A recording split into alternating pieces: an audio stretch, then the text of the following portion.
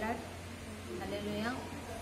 దేవుని మన స్తోత్రం మీ అందరికీ నా హృదయపూర్వక వందములు పరిశుద్ధ గ్రంథంలోంచి కొంతసేపు దేవుని యొక్క మాటలు విందాం. ప్రార్థన చేసుకుందాం. మహాగణుడ మన్మనతుడ ఆశ్చర్యకడ గొప్ప దేవ మీకు ఏమి ఇచ్చినా రుణం తెచ్చుకోలేము తండ్రి. నమ్మదగిన దేవ అయ్యా మీరు మాతో మాట్లాడండి. మీ కృప మాకు చూపించండి. మీ కృప ఉన్నతమైన విధంగా ఉంచండి. ఏ విధమైన చేత మీ మాట మాకు అవసరం ప్రభా నీ మాట కొరకు వేచి నాతో మాతో మాట్లాడి మహిమ తెచ్చుకోమని అడుగుచు. వేస్తున్నాంలో తండ్రి వీడియో చూస్తున్న ప్రతి ఒక్క బిడ్డతో మీరు మాట్లాడండి. నిజంగా వారి యొక్క జీవితాలను మీరు బలపరచమని అడుగుచు. వేసి ప్రార్థన అడిగి వేడుకొని పొందినాం తండ్రి. Amen.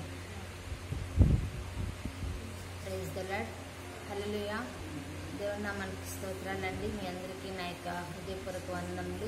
పరిశుద్ధ గ్రంథంలోంచి న్యాయాధిపతులు గ్రంథం ఆరవ అధ్యాయం పదకొండవ వాక్యం నుంచి మనం కొన్ని మాటలు నేర్చుకుందాం. న్యాయాధిపతులు ఇక్కడ మనం చూస్తే ఇక్కడ మనకు ఒక వ్యక్తి కనపడతాడండి ఎవరు అంటే ఎహోవ దూత వచ్చి అభియజ్రీయుడైన యోగాషణకు కలిగిన ఒఫ్రాలోని మస్తకి వృక్షం క్రింద కూర్చుండెను. హల్లెలూయా. ఇక్కడ మనం చూస్తే ఆ, యోవాషు కుమారుడైన గిద్యోను మిద్యానీయులకు మరుగై ఉండ ఉండునట్లు గానుగ చాటున గోధుమలను దొల్లగొట్టుచుండగా ఇక్కడ మనం చూసినట్లయితే గిద్యోను మనకు కనబడతాడు హలెలుయా మనకి ఇక్కడ గిద్యోను మనం చూసినట్లయితే ఇక్కడ గిద్యోను ఎవరు అంటే యోవాష్ కుమారుడు. హలెలుయా అయితే ఇక్కడ మనం చూసినట్లయితే ఎవరు అని మనం చూస్తే గిద్యోన్లో కొన్ని లక్షణములు ఉన్నాయండి ఇక్కడ మనం గమనించినట్లయితే గిద్యోను గిద్యనుకు గిద్యోనుకు దేవుని యొక్క దూత కనబడింది. దేవుని యొక్క దూతను ఆయన గిద్యోనులో చూస్తే దేవుని యొక్క దూత స్వరమును వినే వినగలిగిన వ్యక్తి అంతేకాదు ఆయన యొక్క స్వరము విని ఆయన్ని చూచిన వ్యక్తి. అయితే ఇక్కడ మనం చూసినట్లయితే యెహోవా దూత ఆయనకి ఏమని స్వరము వినిపించి వినిపించిందంటే ఏమని మాట్లాడాడు యెహోవా దూత అని మనం చూసినట్లయితే గిద్యోను ఇక్కడ మనం చూస్తే యెహో దూత అతనికి కళ్ళు కనబడి పరాక్రమం గల బలాఢ్యుడా అని పిలుస్తాడు. అంటే మనం చూస్తే ఇక్కడ గిద్యోని ఎవరు అని చూస్తే పరాక్రమము గల బలాఢ్యుడు. హల్లెలూయా. అయితే ఇక్కడ మనం చూస్తే పరాక్రమం గల బలాఢ్యుడు. అంటే యుద్ధంలో నేర్పరితనివాడు నేర్పరితనము కలిగిన వాడు. అతడు మంచి యోధుడు. అతడు ఏదైనా సరే ఈజీగా చేయగలడనమాట ఎంత బలం అంటే అంత బలము. పరాక్రమం గల బలార్జుడు హలలుయ ఈ విద్యను గిద్యోను ఎవరంటే పరాక్రమం గల బలార్జుడు గిద్యోను వంటి బలవంతులు ఎవరు లేరు. అటువంటి బలవంతులు అనమాట అక్కడున్న ఆ ప్రాంతంలో అతని చుట్టుపక్కల ఉన్నవారి అందరి దగ్గర గిద్యోను పరాక్రమం గల బలాఢ్యుడు ప్రైజ్ ద హలెలుయ అయితే మనం చూసినట్లయితే గిద్యోను ఇంకా అక్కడ చూస్తే రెండోదిగా చూస్తే గిద్యోనుకు యహోవా దేవుడు తోడై ఉన్నాడని ఇక్కడ మనం చూస్తే ఇక్కడ పరాక్రమం గల బలాఢ్యుడా అని పిలిచిన తర్వాత యహోవా నీకు తోడై ఉన్నాడని అతనితో అనగా. అంటే ఇక్కడ మనం చూస్తే గిద్యను గిద్యోను ఎవరు అని చూస్తే దేవుని యొక్క తోడును పొందుకున్న వ్యక్తి. ప్రియమైన దేవుని ఎవరు దేవుని యొక్క తోడును పొందుకుంటారు అని అంటే ఎవరైతే దేవునికి సమీపంగా ఉంటారో వారు మాత్రమే. అయితే ఇక్కడ గిద్యోన్ని మనం గమనించినట్లయితే దేవుని యొక్క తోడును పొందుకున్న వ్యక్తి. హల్లెలూయ. ఎలాంటి తోడు అని అంటే అక్కడ మనం చూసినట్లయితే ఆ, గిద్యోను వెంటనే అన్నాడు కదా చిత్తము నా ఎల్లినవాడా? ఏహో మాకు తోడై నేను ఎల్లా ఇదంతా మాకేలా సంభవించును? అని అంటాడు. అంటే గిద్యోను నమ్మలేదు. దేవుడు తోడుగా ఉన్నాడని చెప్తుంటే గిద్యోను నమ్మలేదు. తర్వాత మరలా దేవుని యొక్క స్వరమును విని మరలా విన్నాడనమాట ఏహో మాకు అంతేకాదు ఇక్కడ ఏమని చెప్తాడంటే యహోవా మాకు తోడే ఉన్న ఎడల ఇదంతా ఎలా జరుగుతుంది? ఎందుకని ఇస్రాయల్ జనము యుద్ధంలో ఓడిపోతున్నారు. ఎందుకని విద్యానీయులు గెలుస్తున్నారు అని చెప్పి అడుగుతారనమాట అడిగినప్పుడు నీవు వెళ్ళు అని చెప్పి దేవుడు అతనిని ఎవరిని గిద్యోన్ని పంపాడు. ఏమనంటే ఇక్కడ మనం చూసినట్లయితే బలమైన ఇక్కడ బలం బలమైన వాడిని కాదు అని చెప్తాడు. మనకి అక్కడ చూసినట్లయితే అంతటా ఎహోవా పరిశుద్ధ గ్రంథంలోని గిద్యోను చిత్తము నా ఏలినవాడ ఏహో మాకు తోడై ఉండి నెడల ఇదంతా మాకేలా సంభవించును ఏహో ఐగుప్తులో నుండి మమ్మల్ని రప్పించినని చెప్పుచు మా పితరులు మాకు వివరించి ఆయన అద్భుత కార్యములన్నీ ఏమాయను. ఏహో మమ్మల్ని విడిచిపెట్టి మిద్యానీల చేతికి మమ్మల్ని అప్పగించినని అతని అతనితో చెప్పాను. దేవుడు దేవుడిని ఇక్కడ ఏమంటున్నాడంటే దేవుడు మమ్మల్ని ఎందుకు అప్పగిస్తాడు? దేవుడు మాకు తోడుగా ఉంటే అని అడిగాడు ప్రశ్న. అంతేకాదు ఒకవేళ దేవుడే తోడుగా ఉంటే ఎందుకు మిద్యానీయుల చేతి మమ్మల్ని అందరిని అప్పగిస్తాడు? ఐగుప్తుల్లోంచి విడిపించి మీకు జయమిస్తాను అని నడిపించిన దేవుడు ఎందుకు మిద్యానీయుల చేతికి ఇష్టాలను అప్పగిస్తున్నాడు అనే ప్రశ్న వేశాడు. అంటే ప్రియమైన దేవుని పిల్లరా ఏదైనాను ప్రభు మనల్ని ఒక శ్రమకు అప్పగిస్తున్నాడంటే ఒక సమస్యకు అప్పగిస్తున్నాడంటే దాని వెనకాల ఒక మేలు ఉంటుంది. అయితే ఇక్కడ మనం చూస్తున్నాం ఇస్రాయల్ జనాంగం అందరూ ఎంతో బాధని పడ్డారనమాట అయితే ఎంతో బాధను పడిన వారు గమనించినట్లయితే వారందరి తరపున ప్రభువు ఎవరిని పంపిస్తున్నారంటే గిద్దియను గిద్దియను నువ్వు వెళ్ళి ఆ, యొక్క మిద్యానీతో యుద్ధం చేయు అని అంటే నేను వెళ్ళడమా? నేను వెళ్ళి యుద్ధం చేయడం ఏంటి? నేను వెళ్ళి యుద్ధం చేస్తే వారు నా మీదకి రారా? అసలు వాళ్ళు ఎంతమంది ఉన్నారంటే వాళ్ళందరూ ఉన్నా నీవు ఒక్కడివే అంతమందితో సమానము. నువ్వు వెళ్ళు. నేను నీకు తోడుగా ఉన్నాను. అని చెప్పి ఉన్నారు ప్రభు యొక్క దూత. ప్రభువు చెప్పిన మాట ప్రకారం ప్రభు యొక్క దూత అతనికి సమాచారం అందించారు. అయితే నేను వెళ్ళడం ఏమిటి నేను అలా చేయడం ఏమిటి అని ఇక్కడ గిద్యను అన్నాడు. అలా అన్నప్పుడు నువ్వు వెళ్తే నేను నీకు తోడుగా ఉన్నాను. నువ్వు వెళ్ళు. నువ్వు వారితోని యుద్ధంలో జయం పొందగలవు. వాళ్ళంతమంది ఉన్నప్పటికీ నువ్వు ఒక్కడే వారందరికీ సమానుడివి. అని చెప్పి ప్రభు యొక్క దూత ఎవరిని పంపించారంటే గిద్యోన్ని పంపించారు. అంటే గిద్యోన్లో మొదటిగా పరాక్రమం కలిగిన వ్యక్తి రెండవదిగా ప్రభు యొక్క తోడును పొందుకున్న వ్యక్తి మూడవదిగా ప్రభువు చేత పంపబడిన వ్యక్తి విద్యను. విద్యను ఇక్కడ మనం చూసినట్లయితే ప్రభు చేత పంపబడ్డాడు. ఎక్కడికి? యుద్ధానికి జయం చూడడానికి జయం పొందడానికి. వారందరిని ఎలా అంటే వారందరూ విద్యానికి ఒక్కడే విద్యను ఒక్కడే అన్నమాట. అక్కడ మనం చూసినట్లయితే ఈ గిద్యోన్ అసలు ఎలాంటి వాడు అని చూసినట్లయితే గిద్యను ఆ యొక్క మాటలు మనం చూసినట్లయితే అక్కడ ఏమని మాట్లాడంటే నేను మనిషి గోత్రంలో ఎన్నిక లేనిదే నా కుటుంబం. అయ్యో నేను ఇస్రాయల్ని రక్షింపగలనా? ఎన్ని మనిషి గోత్రంలో నా గోత్రము ఎన్నిక లేనిదే మనిషి కుటుంబము నా నా కుటుంబం మనిషి గోత్రంలో ఎన్నిక లేనిదే నా పితరుల కుటుంబంలో నేను కనిష్టనై ఉన్నానని ఆయనతో చెప్పాను. అంటే ఇక్కడ మనం గమనించినట్లయితే నేను అసలు నా గోత్రానికి విలువ లేదు నాకు అంతకన్నా విలువ లేదు. నేను అందరికన్నా చిన్నవాడిని అని. ప్రభుకి విలువ లేని వారు కావాలి. ప్రభుకి చిన్నవారే కావాలి. నేనేం చేయగలను? అని అనుకోవచ్చు. కానీ నాకు ఏ విలువ లేదు అని అనుకోవచ్చు. కానీ ప్రభు విలువ లేని వారిని తీసుకొచ్చి విలువైన వారిగా చేయడమే ప్రభు యొక్క లక్ష్యం.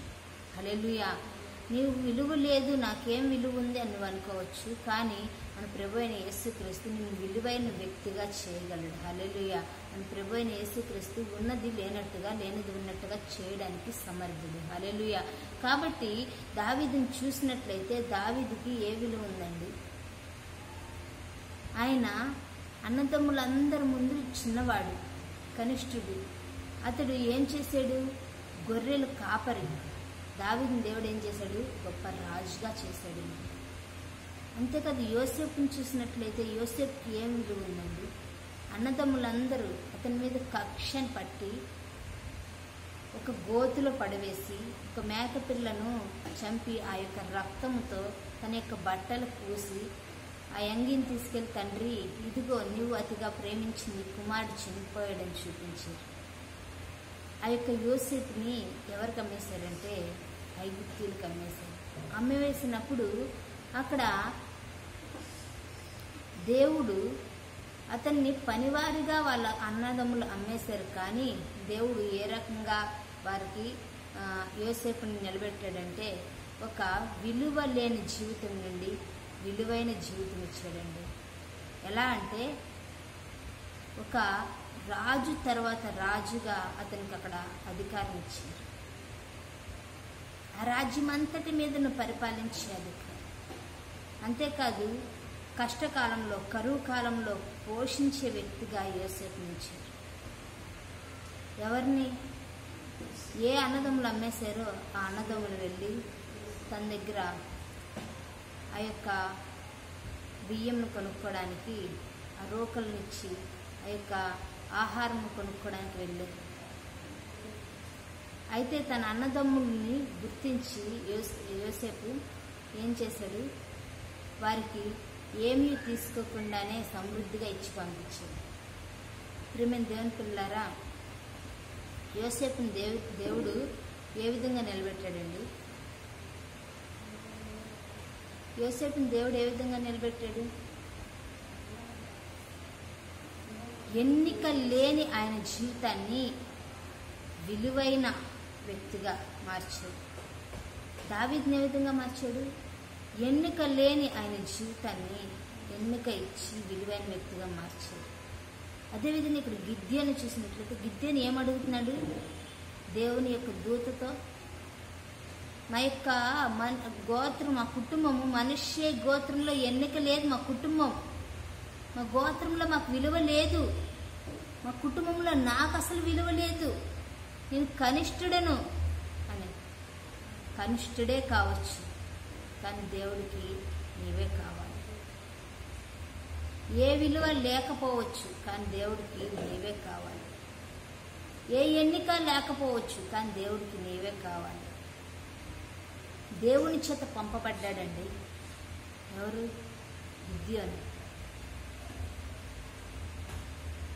దేవుని చేత పంపబడి అక్కడ ఉన్న వారందరినీ హతం చేయగలిగేది గిద్యోను. ప్రైజ్ తెలాడు హలెలుయా అయితే గిద్యను దేవుని మాట ప్రకారం వెళ్ళాడు. మొదటగా గిద్యను పరాక్రమశాలిగా ఉన్నాడు. రెండవదిగా గిద్యను ప్రభు యొక్క తోడును పొందుకున్నాడు. మూడవదిగా గిద్యను దేవుని చేత పంపబడ్డాడు. హలెలుయా అయితే ఇక్కడ మనం చూసినట్లయితే మిథ్యాని ఇక్కడ బలం బలం తెచ్చుకొని ఇస్రాయేల్ను మిద్యానీల నుండి విడిపించాడు. మనం గమనించినట్లయితే మనం అక్కడ చూసినట్లయితే అతడు ఆ పద్నాలుగు వచ్చిన అంతటా యహో అతని తట్టు తిరిగి బలము తెచ్చుకొని వెళ్ళి మిద్యానీల చేతిలో నుండి రక్షింపము. నిన్ను పంపినవాడిని నేనే అని చెప్పి. అప్పుడు ఏం చేశాడంటే విద్యను బలము తెచ్చుకొని ఏం చేశాడు? బలము తెచ్చుకొని మిద్యానీయుల్ని విడి మిద్యానీయుల నుండి ఇస్రాయల్ని విడిపించింది బలం తెచ్చుకున్నాడండి. అతడు పరాక్రమవంతుడు బలవంతుడు. ఇస్రాయల్ అందరినీ మిద్యానీయుల చేతి నుండి బలం తెచ్చుకొని విడిపించాడు. ఇస్రాయల్ చేతి నుండి విడిపించాడు. అంతేకాదు ఏం చేశాడో తెలుసా? ఆ కింద మనం చూసినట్లయితే పదహారవ వచనంలో నేను నీకు తోడయుందును గనుక ఒకే మనిషిని హతం చేసినట్లు మిద్యానీలు నువ్వు హతం చేయదు అని సెలవిచ్చాను ఒకే ఒక్క మనిషిని ఆ విధంగా చంపుతావో ఆ విధంగా మిద్యానీలందరిని కలిసి అంత ఈజీగా నువ్వు చంపేయగలవు. రేపైనా దేవుడు మనకు తోడుగా ఉంటే మనము ఎలాంటి ఏదైనా సరే ఒకే ఒక్క వ్యక్తిని జయించినట్టు మనం జయించగలమండి. ఏ శ్రమ అయినా కావచ్చు సమస్య అయినా కావచ్చు. నువ్వు ఏ ఎన్నిక లేని జీవితమైనా నువ్వు అనుకోవచ్చు కానీ మన ప్రభు నిన్ను ఏం చేయగలడంటే ఎన్నిక లేని నీకు ఎన్నికనివ్వగలడు. ఆమెన్. విలువ లేని నీకు విలువనివ్వగలడు. యోగ్యత లేని నీకు యోగ్యతనివ్వగలడు. ఇప్పుడు మనం గమనించినట్లయితే గిద్యను పరాక్రమశాలి బలవంతుడు. విద్యను దేవుని యొక్క తోడును పొందుకున్న వ్యక్తి. మనం కూడా దేవుని యొక్క తోడు మనతో కూడా ఉండేటట్టుగా మనం ఉండాలండి. దేవుని తోడు మనతో ఉండాలంటే మనం ప్రార్థన చేయాలి ఎక్కువగా. మాట్లాడాలి ఒక వ్యక్తితో మాట్లాడితేనే కదా మనకు పరిచయం ఎక్కువ అవుద్ది అలాగే దేవునితో మనం మాట్లాడుతూ ఉండాలి. మోషే ముఖాముఖిగా మాట్లాడాడు. అబ్రహాము దేవునికి స్నేహితుడైపోయాడు. ఒక వ్యక్తితో మనం ముఖాముఖిగా మాట్లాడితేనే కదా మనకు పరిచయం పెరుగుతుంది. కాబట్టి ఇక్కడ మనం గమనించినట్లయితే దేవుని యొక్క దూత విద్యను చెప్పినట్టు విద్యను ఎక్కువగా మాట్లాడుతూ ఉన్నాడు కాబట్టి దేవునితో నేను నీకు తోడుగా ఉన్నాను అని చెప్పి. దేవుని యొక్క తోడుని పొందుకున్నాడండి. మనం కూడా ఏ విషయంలోనూ విజయం పొందాలంటే ఏ పనిలో నేను జయం చూడాలంటే మనం చేయవలసిన దేవుని యొక్క తోడుని పొందుకోవాలి. హలెలుయా అంతేకాదు గిద్యంలో మూడో లక్షణం ప్రభు చేత పంపబడ్డాడు. నువ్వు ఎక్కడికి వెళ్ళాలన్నా ఏం చేయాలన్నా ప్రభు యొక్క చిత్తం కనుక్కొని వెళ్ళు. ప్రభు చేత పంపబడిన వ్యక్తిగా వెళ్ళు. దేవుడు విజయం ఇస్తాడు ఎలా అంటే మిద్యానీయులందరినీ ఇస్రాయిలందరినీ మిద్యానీయుల చేతుల్లో నుండి విడిపించగలిగే సామర్థ్యత కలిగిన వాడిని. అంతేకాదు మిద్యానీయులందరినీ ప్రభువు గిద్యన్ చేతికి అప్పగించాడు కాబట్టి ఒక్క మనిషిని హతం చేసినట్టు ఆ మిద్యానీయులందరినీ హతం చేశాడు చంపగలిగాడండి. నీవు కూడా నీకు ప్రభువుకి వ్యతిరేకంగా ఏదైనా ఉంటే ఆయాస్కరమైనవి ఏమైనా ఉంటే వాటిని అన్నిటినీ నీలోంచి హతం చేయాలి. నీలో ఎన్ని లక్షణాలు ప్రభుకి వ్యతిరేకమైనవి ఎన్ని లక్షణాలు ఉన్నాయో వాటన్నిటిని నువ్వు హతం చేయాలి. హతం చేయాలంటే వాటిని చంపాలంటే ప్రభుత్వ సన్నిహిత సామర్థ్యం కలిగి ఉండాలి. నిజంగా మన ప్రభు అయిన యేసుక్రీస్తు నిన్ను పిలిచాడు నిన్ను ఎన్నుకున్నాడు. అర్థమవుతుంది కదా? ఆయన ఎన్నిక లేని నిన్నే పిలుస్తున్నాడు. అలెలుయా ఏ మంచి లేని నిన్నే ఆయన పిలుస్తున్నాడు. కనిష్ఠుడు కనిష్ఠురాలు అనుకున్న నిన్నే ఆయన పిలుస్తున్నాడు. ఆయన పిలిచిన పిలుపుకు లోబడుతున్నావా? ప్రభు తోడిని నీతో కూడా ఉంటాడు. ఆయన నిన్ను బలమైన వ్యక్తిగా మార్చిపోతున్నాడు ఆయన నిన్ను ఎక్కడికి పంపాలో దేవుని యొక్క పని కొరకు అక్కడ పంపబోతున్నాడు. వెళ్ళడానికి నువ్వు సిద్ధపడు. నువ్వు మిథ్యానీయుల్ని ఇస్రాయేలీల్ని మిద్యానీయుల చేతిలో నుండి విడిపించినట్టు. అనేక మందిని పాపం నుంచి విడిపించే వ్యక్తిగా నువ్వు ఉండాలి. ఆమె అంతేకాదు వారందరినీ హ- హతం చేసినట్టు. నువ్వు కూడా ఈజీగా దేవునికి ఆయాస్కరమైనవి పాపం పాప పాపానికి సంబంధించినవి అన్నీ ఈజీగా హతం చేయగలగాలి చంపగలగాలి నీలో నుండి. కాబట్టి ప్రియమైన దేవుని పిల్లారా మీరు ఈ దినమందు గిద్యను వలె గిద్యను వలె దేవునికి సన్నిహితంగా ఉంది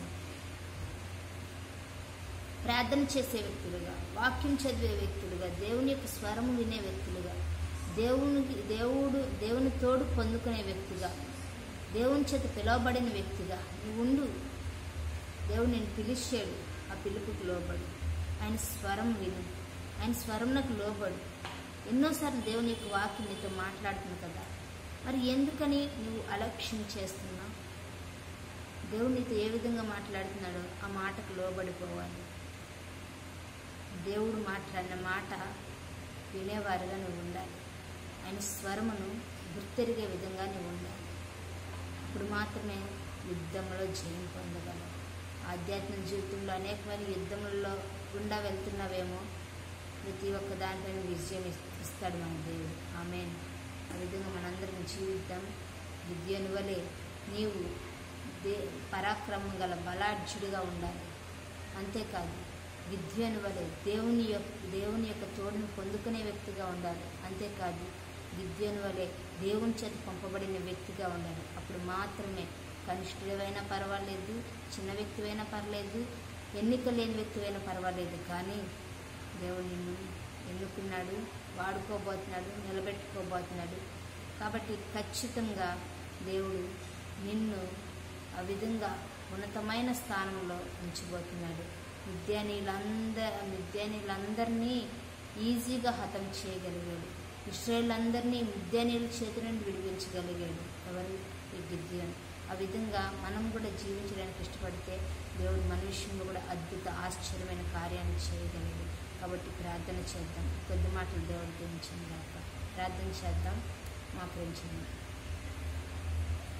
మహాగణుడ మహిమతుడ ఆశ్చర్యపడ సర్వశక్తిమంతుడ మీకు ఏమి ఇచ్చినా రుణం తెచ్చుకొని నిజంగా తండ్రి మీరు మాతో మాట్లాడిన మాటను బట్టి మీకు వందనాలు గిద్యోని వలె నీ యొక్క స్వరమును వినే వ్యక్తులుగా విద్యను వలె పరాక్రమైన బలాఢ్యులుగా విద్యను వలె నీ యొక్క తోడుని పొందుకునే వ్యక్తులుగా విద్యను వలె నీ చేత పంపబడిన వ్యక్తులుగా మమ్మల్ని మార్చమని అడుగుచుంటే ఇది ఏమైనా విడిచిపెట్టక నీ చిత్తం నా పట్ల జరిగించండి. నీ చిత్తం ఇక్కడ ప్రతి ఒక్క బిడ్డ పట్ల జరిగించండి.